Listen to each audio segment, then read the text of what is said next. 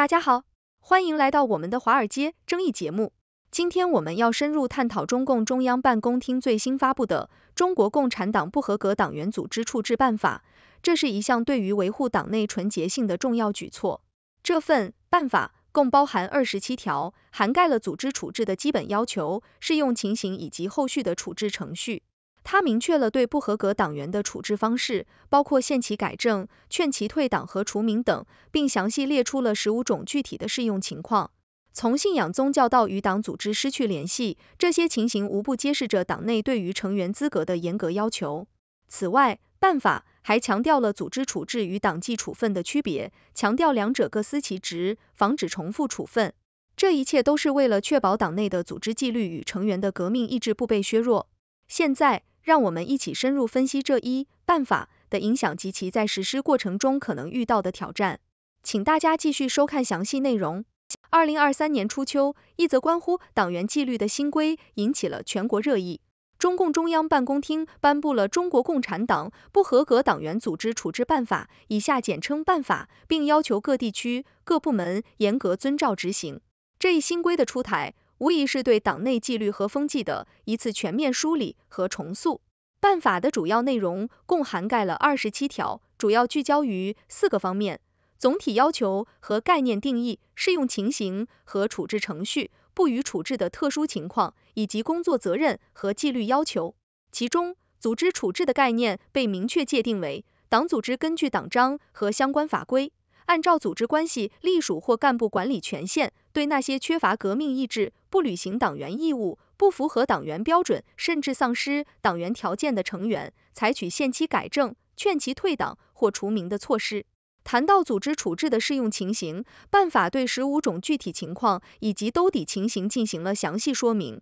限期改正适用于理想信念不坚定、缺乏革命意志、党性意识淡薄、信仰宗教、工作消极懈怠。不发挥先锋模范作用等情形，劝其退党适用于例如为了个人目的以退党相要挟、限期改正后无改进等；除名则适用于理想信念缺失、政治立场动摇、对党不忠诚不老实等严重违纪行为。北京长安街这条见证了无数历史时刻的街道，迎来了一个平常的清晨。街头的报摊上，《人民日报》头版刊登了关于办法的详细解读。小陈是一名在中关村工作的软件工程师。作为一名党员，他用手机翻看着这条新闻，心中感慨万千。这是一次对党员队伍的彻底清理和提升啊！办法不仅仅是对党员行为的一种约束，更是一种鞭策。它细致的规定了不予处置的情况，例如当党组织不健全或软弱涣散，导致党员无法正常履行义务时，或是因客观条件限制，党员一时无法完成党组织所分配的工作时，这些人性化的规定无疑体现了党组织对实际情况的深刻理解和对党员的关怀。然而，这一办法也引起了一些讨论，有人认为其标准过于严格，可能会导致一些党员感到压力过大。对此，人民日报社评论部主任王教授表示，办法的出台是为了提高党员的自律性和责任感，真正做到从严治党。这不仅是对党员个人的约束，更是对整个党员队伍的净化和提升。办法还设置了严格的程序，确保处置过程的公平公正。对违纪党员的党纪处分，依据《中国共产党纪律处分条例》等法规进行，而办法则专注于对那些缺乏革命意志、不履行党员义务、不符合党员标准的成员进行组织处置。这种区分不仅厘清了组织处置和党纪处分的区别，还使两者各自发挥功能，互为补充。在南方小镇的一次基层党支部会议上，支部书记老刘正在给党员们宣讲办法的内容。他语重心长地说：“大家要明白，这不是一种惩戒，而是一种激励。我们要时刻保持党员的先进性，才能在新时代的长征路上不断前行。”办法的出台是党内自我净化、自我完善、自我革新、自我提高的重要举措。它不仅规范了党员行为，更为党的建设注入了新的活力和动力。通过这一办法，每一名党员都将更加明确自己肩负的责任和使命。在新时代的建设征途中，继续发挥先锋模范作用，为实现中华民族伟大复兴的中国梦贡献力量。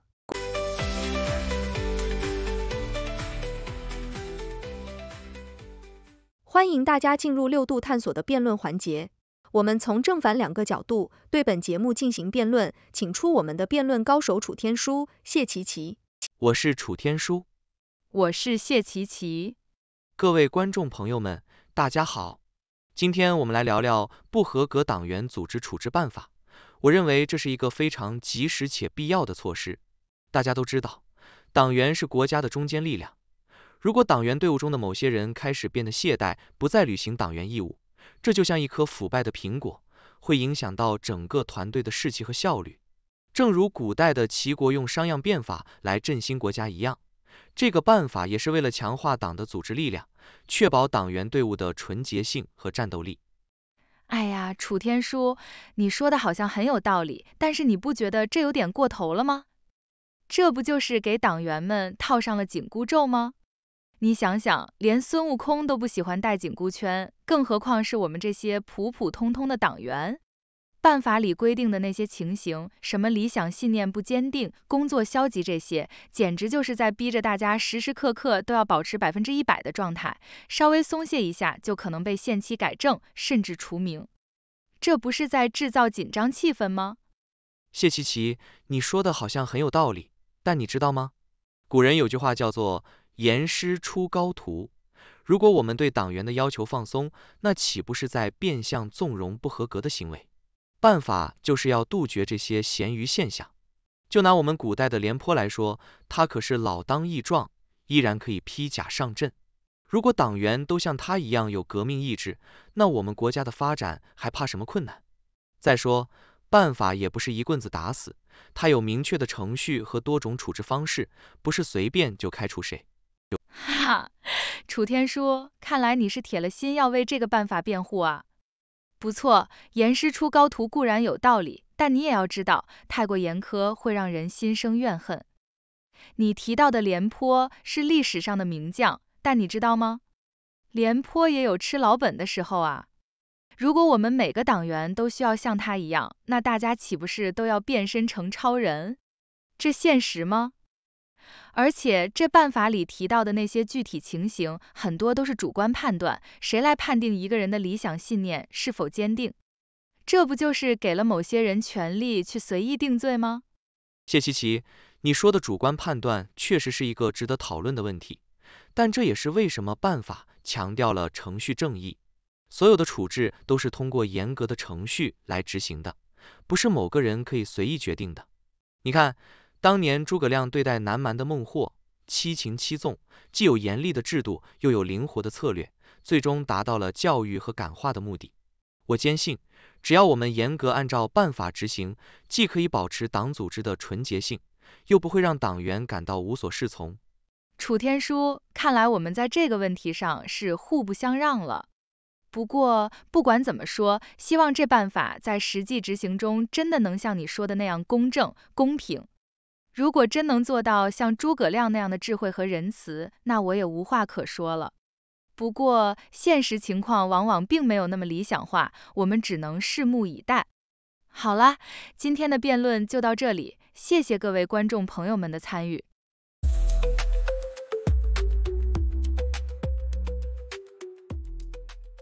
谢谢大家收看六度探索，这是一个由科学家、经济学家、媒体人。工程技术人员合作建立的新型媒体，网友与六度 AI 参与合作完成各种内容，这些内容不能作为任何决策或法律的意见。这是一个新型的试验性媒体方式，我们希望得到大家的支持，修正错误。网友可以参与讨论，也可以向万能的六博士提出你能想出的任何问题。六度世界网址是六 do world，请介绍给你的亲朋好友。Another crazy day. Six degrees of stories connecting in their way.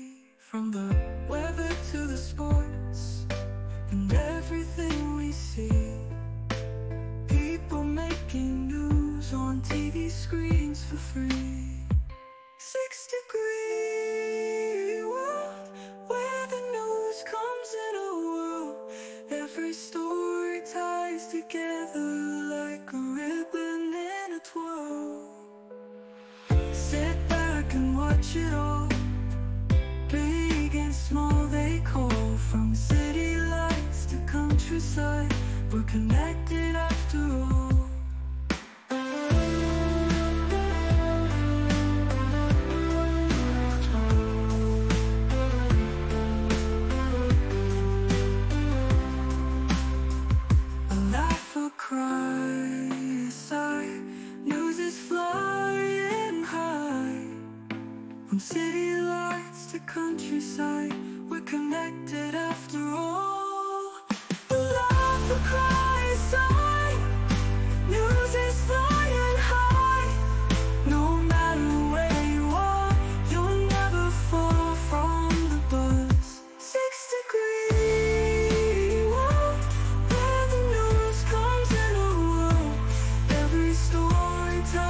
together.